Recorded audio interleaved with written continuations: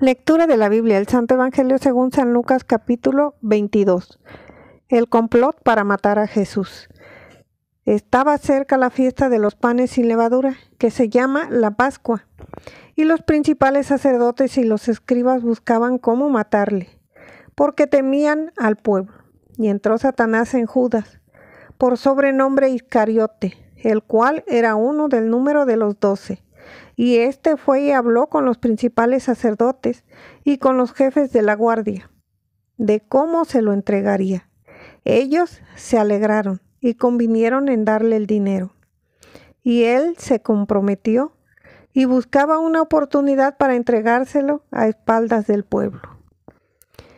Institución de la Cena del Señor. Llegó el día de los panes sin levadura en el cual era necesario sacrificar el cordero de la Pascua. Y Jesús envió a Pedro y a Juan, diciendo, Id, preparadnos la Pascua para que la comamos. Ellos le dijeron, ¿dónde quieres que la preparemos? Él les dijo, He aquí, al entrar en la ciudad os saldrá al encuentro un hombre que lleva un cántaro de agua. Seguidle hasta la casa donde entrare. Y decida al padre de familia de esa casa. El maestro te dice, ¿Dónde está el aposento donde he de comer la Pascua con mis discípulos? Entonces Él os mostrará un gran aposento alto ya dispuesto. Preparad allí. Fueron pues y hallaron como les había dicho, y prepararon la Pascua. Cuando era la hora, se sentó a la mesa, y con él los apóstoles, y les dijo, cuánto he deseado comer con vosotros esta Pascua antes que padezca, porque os digo que no la comeré más hasta que se cumpla en el reino de Dios. Y habiendo tomado la copa, dio gracias y dijo, Tomad esto y repartidlo entre vosotros, porque os digo que no beberé más del fruto de la vid hasta que el reino de Dios venga. Y tomó el pan y dio gracias, y lo partió y les dio diciendo, Esto es mi cuerpo, que por vosotros es dado. Haced esto en memoria de mí. De igual manera, después que hubo cenado, tomó la copa, diciendo, Esta copa es el nuevo pacto en mi sangre, que por vosotros se derrama. Mas he aquí la mano del que me entrega está conmigo en la mesa. A la verdad, el Hijo del Hombre va según lo que está determinado, pero hay de aquel por quien es entregado. Entonces ellos comenzaron a discutir entre sí quién de ellos sería el que había de hacer esto. La grandeza en el servicio. Hubo también entre ellos una disputa sobre quién de ellos sería el mayor. Pero él les dijo, los reyes de las naciones se enseñorean de ellas, y los que sobre ellas tienen autoridad son llamados bienhechores. Mas no así vosotros, sino sea el mayor entre vosotros como el más joven, y el que dirige como el que sirve. ¿Por qué? ¿Cuál es mayor? ¿El que se sienta a la mesa o el que sirve? ¿No es el que se sienta a la mesa? Mas yo estoy entre vosotros como el que sirve pero vosotros sois los que habéis permanecido conmigo en mis pruebas. Yo, pues, os asigno un reino, como mi Padre me lo asignó a mí, para que comáis y bebáis a mi mesa en mi reino, y os sentéis en tronos juzgando a las doce tribus de Israel. Jesús anuncia la negación de Pedro. Dijo también el Señor, Simón, Simón, he aquí Satanás os ha pedido para zarandearos como a trigo, pero yo he rogado por ti, que tu fe no falte. Y tú, una vez vuelto, confirma a tus hermanos. Él le dijo, Señor, dispuesto estoy a ir contigo, no solo a la cárcel, sino también a la muerte. Y él le dijo, Pedro, te digo que el gallo no cantará hoy antes que tú niegues tres veces que me conoces. Bolsa, alforja y espada. Y a ellos dijo, cuando os envié sin bolsa, sin alforja y sin calzado, ¿os faltó algo? Ellos dijeron, nada. Y les dijo, pues ahora, el que tiene bolsa, tómela, y también la alforja. Y el que no tiene espada, venda su capa y compre una. Porque os digo que es necesario que se cumpla todavía en mí aquello que está escrito y fue contado con los inicuos, porque lo que está escrito de mí tiene cumplimiento. Entonces ellos dijeron, Señor, aquí hay dos espadas. Y él les dijo, basta.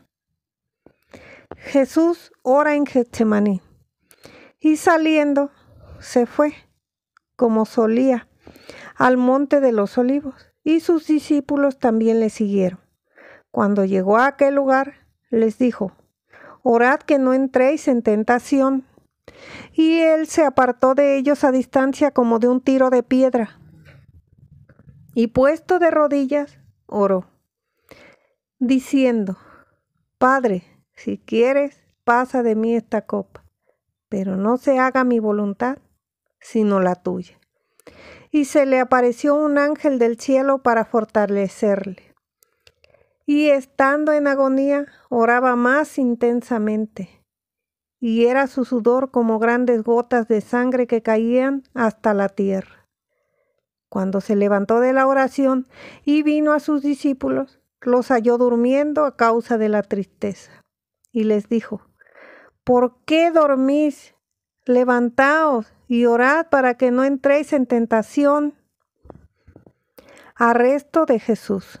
Mientras él aún hablaba, se presentó una turba, y el que se llamaba Judas, uno de los doce, iba al frente de ellos, y se acercó hasta Jesús para besarle.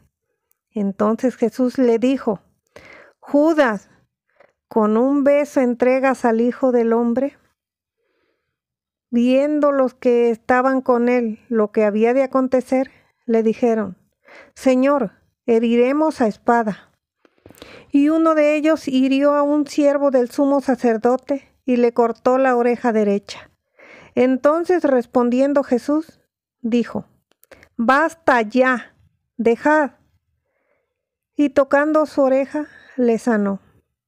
Y Jesús dijo a los principales sacerdotes, a los jefes de la guardia del templo y a los ancianos, que habían venido contra él como contra un ladrón habéis salido con espadas y palos? Habiendo estado con vosotros cada día en el templo, ¿no extendisteis las manos contra mí? Mas esta es vuestra hora y la potestad de las tinieblas. Pedro niega a Jesús. Y prendiéndole, le llevaron y le condujeron a casa del sumo sacerdote. Y Pedro le seguía de lejos. Y habiendo ellos encendido fuego en medio del patio, se sentaron alrededor, y Pedro se sentó también entre ellos. Pero una criada al verle sentado al fuego, se fijó en él y dijo, también éste estaba con él. Pero él lo negó, diciendo, Mujer, no lo conozco. Y un poco después, viéndole otro, dijo, tú también eres de ellos. Y Pedro dijo, Hombre, no lo soy. Como una hora después, otro afirmaba diciendo, verdaderamente también éste estaba con él, porque es Galileo. Y Pedro dijo, Hombre, no sé lo que dices. Y enseguida, mientras él todavía hablaba, el gallo cantó. Entonces, vuelto el Señor, miró a Pedro y Pedro se acordó de las palabras del Señor, que le había dicho, antes que el gallo cante, me negarás tres veces. Y Pedro, saliendo fuera, lloró amargamente. Jesús escarnecido y azotado. Y los hombres que custodiaban a Jesús se burlaban de él y le golpeaban. Y vendándole los ojos, le golpeaban el rostro y le preguntaban diciendo, profetiza, ¿quién es el que te golpeó? Y decían otras muchas cosas injuriándole. Jesús ante el concilio. Cuando era de día, se juntaron los ancianos del pueblo, los principales sacerdotes y los escribas, y le trajeron al concilio, diciendo, ¿Eres tú el Cristo? Dínoslo. Y les dijo, si os lo dijere, no creeríais. Y también si os preguntare, no me responderéis, ni me soltaréis. Pero desde ahora el Hijo del Hombre se sentará a la diestra del poder de Dios. Dijeron todos, luego eres tú el Hijo de Dios. Y él les dijo, vosotros decid que lo soy. Entonces ellos dijeron, ¿qué más testimonio necesitamos? Porque nosotros mismos lo hemos oído de su boca.